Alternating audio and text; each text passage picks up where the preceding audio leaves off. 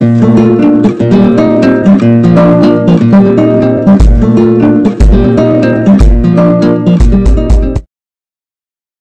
اللہ الرحمن الرحیم السلام علیکم ورحمۃ اللہ وبرکاتہ بات کریں گے آج سورہ فاتحہ کے محبت کے لاجواب وظیفہ کے حوالہ سے کہ سورہ فاتحہ کا ایک ایسا وظیفہ ہے کہ جس کے کرنے سے اللہ رب ذوالجلال اس صورت کی برکت سے اور اس وظیفہ کو اپنانے کی برکت سے جس مقصد کے لیے، جس بندے کے لیے آپ اس محبت کے وظیفہ کو کرتے ہیں، اللہ رب ذوالجلال آپ کو اس کے اندر کامیابی و کامرانی عطا فرماتا ہے۔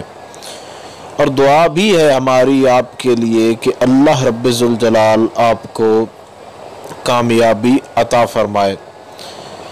سب سے پہلے آپ نے یہ کرنا ہے، باوضو ہو کر یعنی وضو کر کے آپ نے کسی پاک جگہ پر بیٹھ جانا ہے اور وہاں بیٹھ کر آپ نے اکیس مرتبہ سورہ فاتحہ شریف جو ہے اس کو آپ نے پڑھنا ہے۔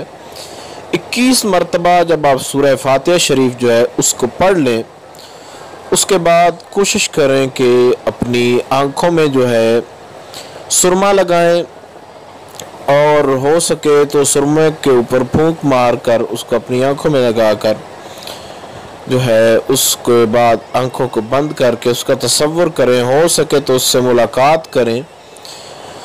تو اس کو جب اکیس مرتبہ آپ سورہ اخلاص جب پڑھ رہے ہوں گے، سورہ فاتحہ شریف، سورہ فاتحہ شریف، آپ اس کو جب پڑھ رہے ہوں گے، تو آپ نے اس کو ذہن کے اندر رکھ کے پڑھنی ہے، تو انشاءاللہ العزیز اسی دورانیے کے اندر، اسی گھڑی کے اندر آپ کا مقصد جو ہے وہ انشاءاللہ العزیز آپ کو حل ہوتا ہوا خود محسوس ہوگا اور انشاءاللہ تعالی حل ہو جائے گا۔ یہ ایک انتہائی لاجواب، مجرب ترین اور باکمال وظیفہ ہے جو آج آپ لوگوں کو بتایا ہے۔ اور اس کے اول آخر آپ نے تین تین مرتبہ درود شریف پڑھنا ہے۔ جو بھی درود شریف آپ کو آسانی کے ساتھ یاد ہو، وہ درود شریف آپ اول آخر پڑھیں۔